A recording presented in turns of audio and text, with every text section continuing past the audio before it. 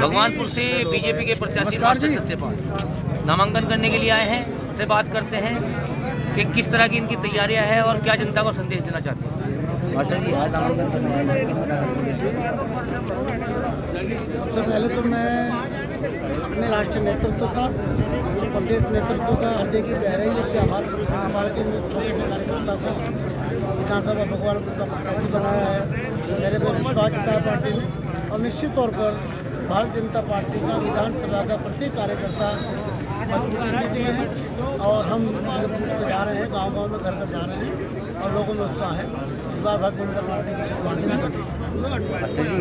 राकेश परिवार इस बार भी आपके सामने दो हज़ार बाईस में 2012 में उनसे हारे फिर नगर पंचायत का चुनाव उनसे हारे। क्या इस बार उन्हें टक्कर दे पाए? देखिए हार के व्यक्ति जीतता है। और इस बार जनता त्रस्त है राकेश परिवार से और जनता मुक्ति चाहती है। उनकी दादागिरी, उनका अहंकार, उनका अकड़पन, उनकी गुंडागर्दी इस बार जो जनता के बीच में है, जनता के बीच में जो अकड़ दिखाते हैं, इस बार वो जनता उन्हें बेटा चुकाने के लिए मैदान में है। भारतीय जनता पार्टी को क्या कहेंगे? आप कांग्रेस में लंबे समय तक रहे आपको दिख रहा था कि टिकट नहीं मिलना इसलिए पलटी मार दी। बीजेपी मैं तो साढ़े तीन साल से भारतीय जनता पार्टी में हूँ। और क्योंकि पलटी तो पहले सुबोध राकेश मार चुके थे। उनका तो इतिहास रहा है कभी समाजवादी में कभी बहुजन में कभी निर्दलीय इनका तो एक इतिहास रहा है। लेकिन अ, मैं साढ़े तीन साल पहले भारतीय जनता पार्टी की सदस्यता ग्रहण की। आज ऐसी हूँ, प्रदेश कार्यकारिणी सदस्य रहा हूँ। तो मैं तो भारतीय जनता पार्टी कार्यकर्ता हूँ, नरेंद्र मोदी जी की रीति रीति से पूरा देश प्रभावित है, मैं कार्यकर्ता हूँ, मैं निश्चित रूप से प्रभावित हूँ। और एक तरफा भारतीय जनता पार्टी की लहर चल रही है उनमें सरकार आ रही है उत्तराखंड में भी और पूरे देश में भारतीय जनता पार्टी। आपकी पार्टी के बड़े बड़े नेता जो है वो कांग्रेस में शामिल हो रहे हैं। बता रहे कि कांग्रेस की लहर। नहीं भारतीय जनता पार्टी में जो स्वार्थी लोग हैं वो चले जाते हैं लेकिन भारतीय जनता पार्टी तटस्थ है वो वहीं खड़ी रहती है।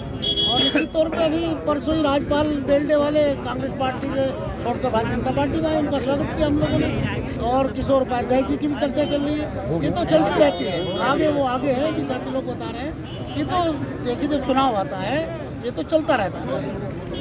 भगवानपुर से इस बार कमल खिलाने का क्या प्लान है? किस तरह के कमल खिलाना ये जनता भगवान की जनता जो सर्वोपरि है इस बार इस परिवार से मुक्ति चाहती है। परिवारवाद चूँकि कांग्रेस पार्टी भी एक परिवारवाद है। परिवारिक मुद्दा है या कुछ और है? पर निश्चित तौर से भगवानपुर में तो परिवारवादी मुद्दा है। और साढ़े सात साल से लगातार ममता राकेश जी विधायक हैं वो पाँच साल तक रोती रही थी मेरे मेरी सरकार नहीं लेकिन ढाई साल तक पूरी सरकार थी। हरीश रावत सरकार में वो पूरी तरह से उनके पति मंत्री थे। वो कार्य आज तक नहीं पूरे कर पाई। और निश्चित तौर पे जो कार्य नहीं पूरे हुए विकास कार्य अधूरे हैं। और परिवारवाद एक बहुत बड़ा मुद्दा क्षेत्र के लिए है। जनता इस परिवारवाद से मुक्ति चाहती है। और कांग्रेस भी एक परिवारवाद है समाजवादी भी एक परिवार है बहुजन समाज पार्टी भी एक परिवार लेकिन भारतीय जनता पार्टी कार्यकर्ताओं की पार्टी है। कार्यकर्ताओं का सम्मान है। यहाँ छोटे से कार्यकर्ता को भी चलिए न्यूज़ वर्ल्ड इंडिया के आपको बधाई धन्यवाद। धन्यवाद। धन्यवाद। तो ये थे हमारे साथ मास्टर सत्यपाल जी जो बीजेपी से प्रत्याशी हैं भी- भगवानपुर से। इनका साफ़ तौर से कहना है कि परिवारवाद भी भगवानपुर में मुद्दा है। और परिवारवाद से भगवानपुर जनता छुट्टी चाहती अपने सहयोगी विनोद चौधरी के साथ मैं Mohammad Azim, news one India, Haridwar.